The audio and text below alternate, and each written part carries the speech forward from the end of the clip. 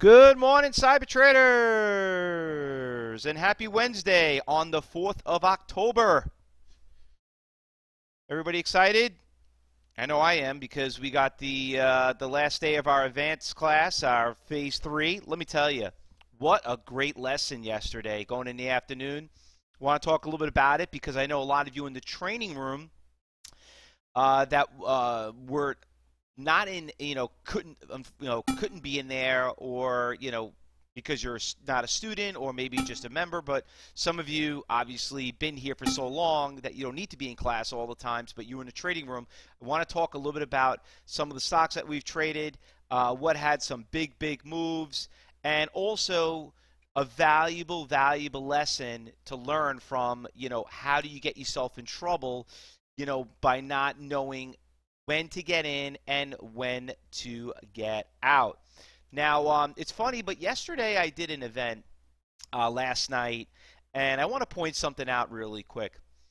First of all, people always come up to me and tell me, says, you know what, Fausto, those stocks that you trade are penny stocks, and I tell you, I get, I don't know, I, I try to hold my composure and try to be cool about it, but sometimes people like, I'm like, wait a minute, what makes you, first of all, if you know anything about penny stocks, okay, penny stocks trade on the pink sheet stocks, okay? That's number one. So, I, first of all, I don't trade pink sheet stocks. And secondly, some stocks, because anybody thinks anything under $5 or a dollar is a penny stock, they're like, you know what? I know stocks are trading at $10, $20 at a penny stocks it's it, it, obviously you, you don't know the rule of what makes a penny stock, which is a bulletin board stock, versus a Nasdaq National. So we only trade Nasdaq National stocks. That's the key. All right, that's the most important thing that you have to understand when it comes to trading. We trade Nasdaq National stocks. All right. Two. First of all, who cares? You know, whatever it is, a penny stock. I mean, does that make you a bad person? Let me tell you. This is my argument. I tell all those people. When was the last time that you saw a stock that went from a dollar to seven dollars like ECYT. Oh, but where it is today? No, no, no, no. I tell them that's okay. That's we're not swing trading. We're day trading it. When's the last time you saw a stock like ECYT? When's the last time you were in a stock like CLSN? Okay, that went from a dollar fifty to eight dollars. All right. When was the last time MTBC. When you saw a stock go from $1.50 to $4 like yesterday. Oh, by the way, coincidental, some people say, oh, I, I saw it once, but I haven't really seen him. But we did it three times in one day. All right? And you know what? Today's another day. That's the past. This is the present. This is why we love what we do. Okay? Because we want to trade against the people that are ignorant, that don't know how to trade, that, that are out there. And I because what happened last night, I did an event at 7:30, and you know, and people were coming up to me, and it was just, you know, they were asking me a question regarding, oh, but you know, we don't trade these stocks. I'd rather trade uh, Amazon. Okay, okay, God bless you. Oh, but I know I can't afford it, so I trade the options. Okay, these, this is what makes us excited and should make us so. Uh, uh, so excited to compete against these people because that's where that's the, that's the ignorance. Those are the people you want to trade against. That is why when they say 90% of the people lose money, that's the reason why. Because all they think that they could trade out there is stocks like Apple, okay, which is not going anywhere. You know, stocks like um, uh, Ford, you know, or I don't know. Eh, I'm just thinking out loud. Any of these, any of these stock. Oh, I got to trade ETFs, you know, whatever it may be. So anyway, Fun thing. Anyway, you're right, Mark. You know, MTBC, you're plus now, you're up a dollar on that trade. Let's give him a round of applause. Way to go, Mark. Congrats, baby. Do that every day, a thousand shares, thousand bucks, quarter million dollars. Congratulations. That's what that's what you need to do. Hey, good job. All right, so anyway, let's talk about some of the stocks that we did trade yesterday. So I brought a couple of them up. This is what we do here.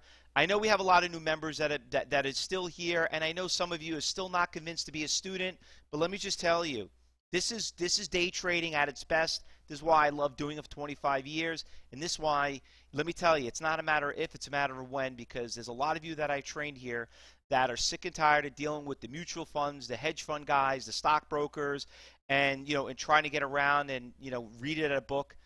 This is this is this is what trading. And you know what? I know there's a lot of people watching this on YouTube right now, but this is where the money is. Oh, okay. So AMD. Let's look at that one too. Yeah, AMD was a good trade, but let me tell you, I like the difference between AMD and the CLSN or the ECTY or the MTBC. You risk less money, and you deal with you dealing with the um, you're not dealing with the with the best traders on Wall Street, and you know the stock can get awfully volatile. You got to be a level three trader to trade AMD. All right, so that's where that goes. So now that we got that out of the way, ladies and gentlemen, um, by the way, I want now let's talk about a new day. Okay, so what is the big news that's going on? Well, didn't I tell you guys to log in at 8:30? How many times do I tell you, you gotta log in at 8:30? You gotta be at 8:30 because you know why? JJ, who's been a uh, who came here on site, and I had a long talk with JJ when she was here. Said JJ, you gotta be here at 8:30. Well, guess what? She just made 24 cents. You know, trading a, a TEVA. And I said it. Listen, TEVA is testing a major support level. Let's give her a round of applause. James made 44 cents on TEVA on the de- on the bounce. Look at that. That's what we train for. That's what it's all about. And by the way, Josh is going to be doing Traders Talk today at one o'clock. So he's going to talk about this. So make sure you email you email him your questions. All right. All right. Now let's go talk about what is moving around. So we got we got we got. Um, I want to keep an eye on the uh, some of the stocks that we traded. First of all, the CLSN. This is why you don't hold positions overnight. All right. So easy come, easy go, right? Look at stock went to eight in pre-market. Look where it ended up now, now to four. All right. So anyway, that's what, what do we say? Whatever goes up comes down twice as fast. I want to keep an eye on the MTBC this morning. So I'm going to put that one on the watch list. All right. Now, what else is making a big move? RGSE. Okay. That one's got a great pre-market trading. Stock traded 1.4 million shares, up 168%. Did you hear that? 163%. All over that one. Put that on the Fausto watch list. This one up pretty big, but it's kind of flatline, so I'm to scratch that one out. Uh, the CATB this thing is just literally like a roller coaster. Look at that thing going up, but you know what? It's got support levels here at 350, but it's pretty damn volatile in pre-market, which kind of gets me a little nervous. So I don't know if I'm too crazy about that one. That one's going to be more second protocol. Um, MTBC, we already got it up there. Um, MYL, okay, MY, um, MYL.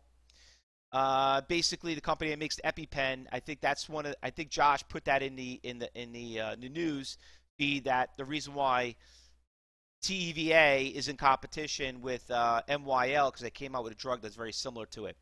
But anyway, that one, uh, a little bit of a brand name, guys. Got to be careful with this one. You got to be a three or four trader uh, to trade that stock. Very, very dangerous stock. A little on the cheaper side, VKTX. Nice little stock right there. Pre-market, mm, you know, up 18%. I'll put down a watch list. FOLD, been doing really well. You know what's amazing? Every single, you know what's a, do you guys see a pattern going on right now? Do you realize that every brand, every stock that we're looking at is in the medical business? If it's not a pharmaceutical, a billing company, they're all in the same business, right? Is that is that? I mean, is it me? So you know, I know I know that we have a lot of uh, doctors that are here. We have a lot of pharmacists that are here. You know, um, and it's amazing when you guys start realizing, like, my God, I'm in this business, and you know, if I only knew when I was when I was a pharmacist, and I know Ken Thor's probably saying this himself. I mean, I knew there was a great drug, but I didn't know I could have made more money trading the stock, and that's why he's here, right, Ken? Yeah, drugs are unbelievable. So anyway, this is what really, and you know what? When we go to New York Stock Exchange, you're going to notice that most pharmaceuticals trade on the Nasdaq, and that's why there's more volatility here. Another thing, keep an eye on dryers, DRYS, breaking out. All right? I want to keep a close eye on that. MannKind, another one, another pharmaceutical. My God, this list is too big. This list is getting too big. I don't like to have more than 10. Global, that's another shipping company. I guess that's following all the shipping stocks. You know, you know them guys. We'll put them in there. Losers, what's going on? Nothing really in the losers I don't find as a dead cat bounce. I'm going to scratch all those out. ETS, we already know how to trade those. Oil looks pretty interesting. Uh, nice little push, nice little trend, decent volume, but it's not up a lot. It's only up 4%. Typical New York Stock Exchange markets, really nothing there. All right, so I want to get ready for class, guys. I got phase three. Looks like an exciting morning. I want to get very aggressive this morning.